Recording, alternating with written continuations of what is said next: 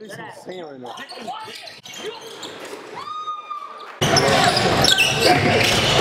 Oh, yeah, okay.